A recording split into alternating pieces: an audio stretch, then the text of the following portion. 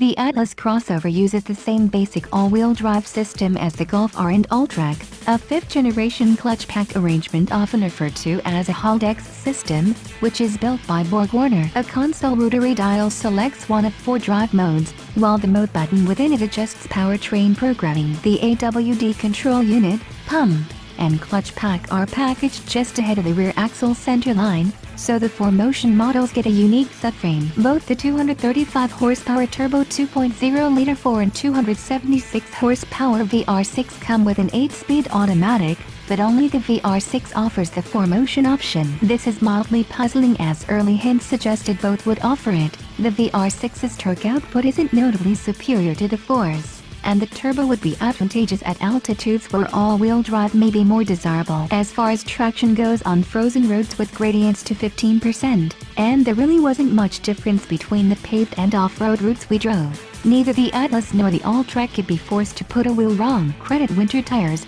Continentals on Alltrack, Pirelli Scorpions on Atlas. For part of that, but only at full throttle in the Atlas's off-road mode did tire spin become obvious, that because wheel speed is beneficial in sand. It's worth noting that 4Motion is not predictive, so matting the gas from rest will slip the front tires part of a rotation, that fraction of a second in which the system reads slip and loads up the clutch pack, and it is not variable side to side nor intended as any kind of cornering enhancer.